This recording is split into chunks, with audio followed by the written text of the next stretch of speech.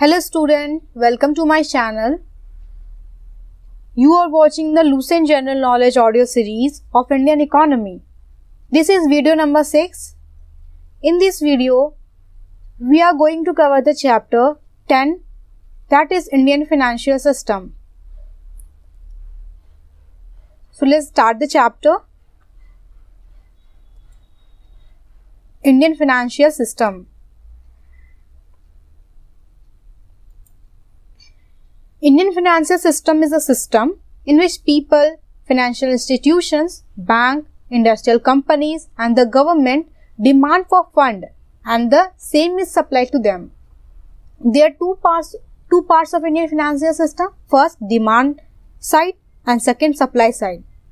The representative of demand side can be individual investor, industrial and business companies, government and extra and the representative of supply side will be bank, insurance companies, mutual fund and other financial institutions.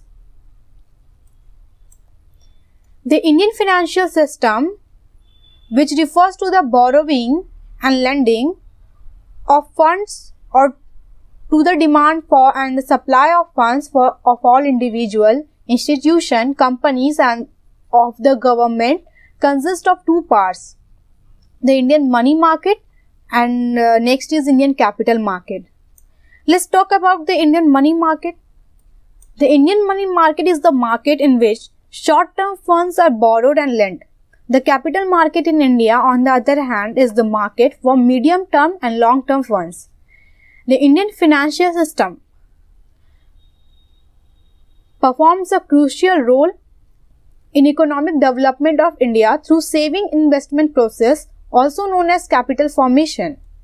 The financial system is commonly classified into first industrial finance, second agricultural finance, third development finance and fourth government finance. Devaluation means lowering the official value of the local money in terms of foreign currency or gold. Balance of payment BOP is a systematic record of all economic transactions between one country and rest of the world in a given period. Balance of trade is the difference between the value of goods exported and the value of goods imported per annum. Service not included in BOT. BOP is divided in current account and capital account. EXIM policy two, uh, 2000 uh, to 2001 introduced Special Economic Zone Schemes SEZ. 94 to 95, Indian rupee was made fully convertible on current account. Next, Indian uh, fiscal policy is the policy relating to public revenue and public expenditure and allied matters. Usually, the Indian money market is classified into organized sector and unorganized sector. The next, the unorganized sector consists of indigenous bankers including the non-banking financial companies NBFCs. Beside these two, three uh, are many sub-market in the Indian money market. The organized banking system in India can be broadly divided into three categories. First, central bank of the country known as Reserve Bank of the India the second commercial bank and the cooperative bank which include private sector and public sector bank and also foreign banks. Next, the highest financial institution in organized sector is Reserve Bank of India. And in addition to this bank of public sector, banks of private sector, foreign banks and other financial institutions are also part of organized sector. Next, the Reserve Bank of India regulates and controls the money of the country. Next, the RBI was established under the Reserve Bank of India Act 1934 on 1st April 1935 with a capital of rupees 5 crore. It was nationalized on 1st January 1949 on the recommendation of Parliamentary Committee in 1948. It is the Central Bank of India. The Reserve Bank of India is the supreme monetary and banking authority in the country and has the responsibility to control the banking system in the country. It keeps the reserve of all commercial banks and hence is known as the Reserve Bank of India. Its financial year is 1st July to 30 June.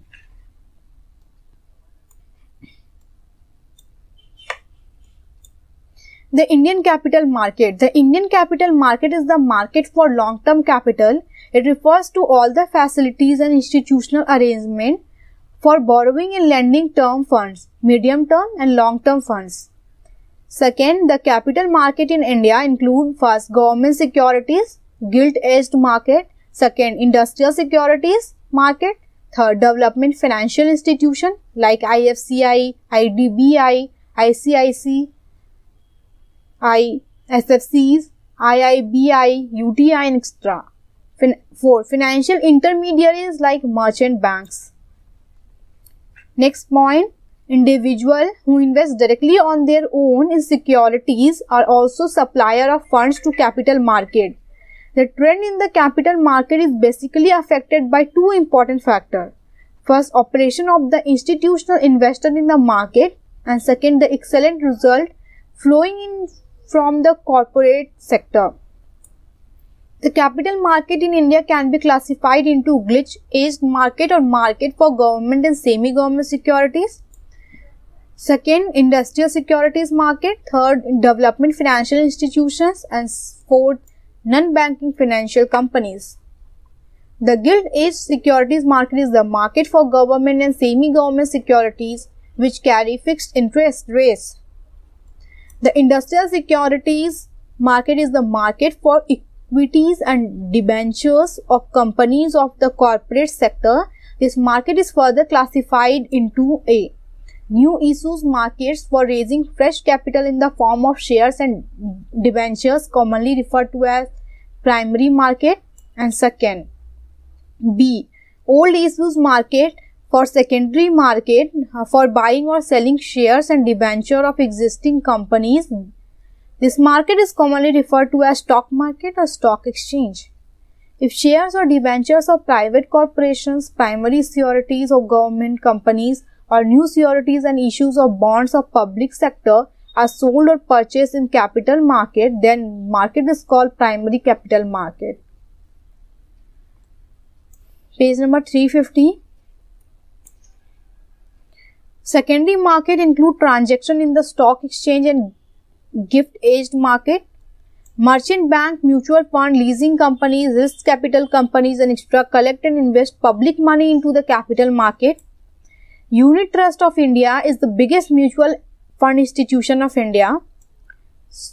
Next topic, stock exchange. The first point. The stock exchange is the market for buying and selling of stocks, shares, securities, bonds and debentures and extra. It increases the marketability of existing security by providing simple method for public and other to buy and sell securities. Second, the first organized sector stock exchange in India was started in Bombay, now Mumbai, when the Native Share Brokers Association known as Bombay Stock Exchange was formed by the brokers in 1875. BS, in Asia oldest stock exchange. In 1894, the Ahmedabad Stock Exchange was started to facilitate uh, dealings in the shares of textile mills there. Next point, the Calcutta Stock Exchange was started in 1908 to provide a market for shares of plantation and jute mills. Next, the number of stock exchange rose from 7 in 1939 to 21 in 1945. Next, under the Securities Contract Regulation Act of 1956, the Government of India has so far recognized 23 stock exchange. Bombay is the premier exchange in the country. Next, with the setting uh, up of National Stock Exchange, all regional stock exchange has uh, have lost relevance. The BSE transformed itself into a corporate entity from being a broker association from the middle of the August 2005. As a public limited company, BSE, Bombay Stock Exchange, is obliged to dilute stockbroker stake to 49%. To prevent excessive speculation and volatility in the stock market, SEBI has introduced rolling settlement from 2 July 2001 under which settlement has to be made every day. Some important share price index of India Another highlighted topic. First point BSE Sensex. This is the most sensitive share index of the Mumbai Stock Exchange. This is representative index of 30 main shares. Its base year is 1978 to 79. It is the oldest stock exchange in India, founded in 1875. BSE 200. This represents 200 shares of Mumbai Stock Exchange. Its base year is 1989 to 1990. Next is Dollex. Index of 200 BSE dollar value index is called Dollex. Its base year is 1989 to 90. NSE 50. From 28 July 1998, its name is S&P CNX Nifty. National Stock Exchange has launched a new share price index NSE 50 in place of NSE 100 in April 1996. NSE 50 includes 50 company share. This stock exchange was founded in Pherwani Committee recommendation in 1994. CRISIL, set up in 1988, is a credit rating agency. It undertakes the rating fixed deposit programs, convertible and non-convertible debentures, and also credit assessment of companies. CRISIL 500 This is the new share price index introduced by credit rating agency the Credit Rating Information Service of India Limited CRISIL on January 18, 1996. The National Stock Exchange NSE has launched a new version of its online trading software called National Exchange for Automatic Trading NEAT NEAT. This is not the exam of a medical student NEET and WET. This is NEAT. Regulators of India, one highlighted box is given. I am waiting for some moment so you can read it by own. Now, okay. Now, the next is ranking in India in different indexes as in March 2015. Some point is given 1 to 9. The first point 1. India has emerged second most trusted country in the world in terms of faith response on its institution. The list is topped by UAE with 84% trust. Second, Transparency International India TII Corruption Index India ranked 85th among 175. Denmark topped in this index. World Bank uh, third point World Bank ease of doing business report India ranked 142 among the 189 countries, Singapore top 4.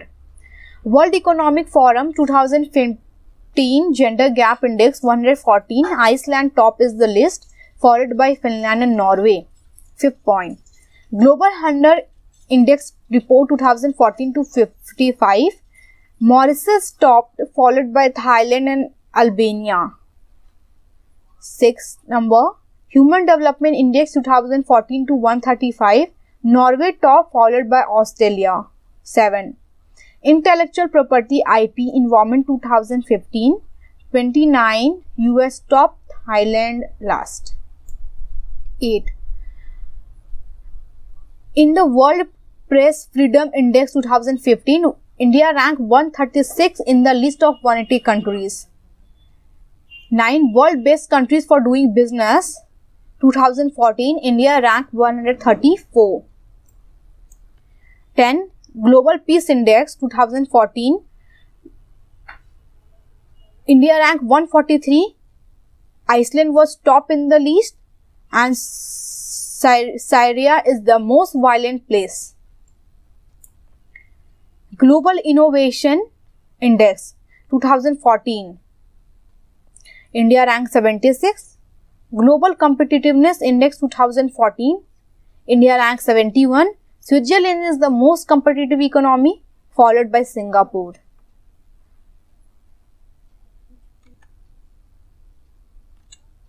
thank you everyone all the best for your competition and whatever you are preparing for thank you video अगर अच्छी लगी हो तो उसे like ज़रूर करना। Thank you.